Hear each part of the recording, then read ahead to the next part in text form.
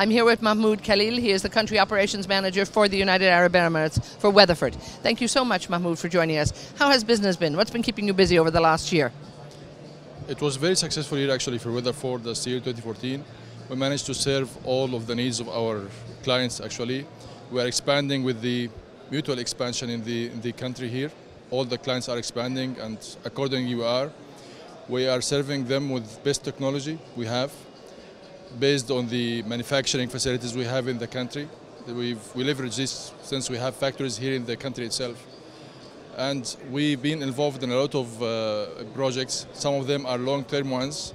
So we are here and we certainly going to uh, keep investing and adding resources to the country.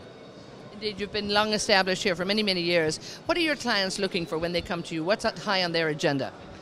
The highest thing in their agenda, they're looking for solutions.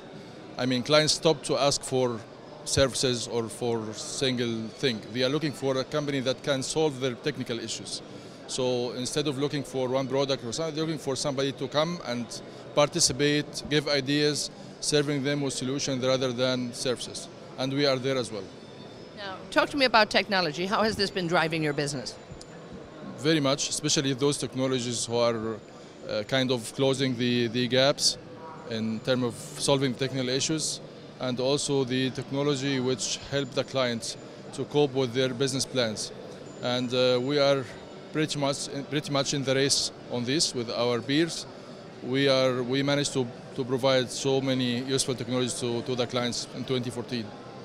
Now we had the um, we had the honor of being out at Weatherford uh, in the industrial area too. You have a huge training centre out there. How important is it that you're constantly updating your people and putting focus and investment into training? Well, we managed to keep this training center busy most of the year. Every kind of, of uh, training we are giving there, HSE, technical, managerial skills, and the new thing that we are in inviting our uh, clients to be there as well. We made a lot of joint training thing with them. So day after day, the training center is serving the whole region and the whole industry in the area around us. Now, it's been very busy here for the last few days at ADIPEC 2014. How has it been for you? Have you enjoyed the conference and the exhibition? It was very useful actually, and uh, we met most of our clients. And uh, the new thing that this year we actually serve more than UAE. We are dealing with Kuwait clients, uh, Oman.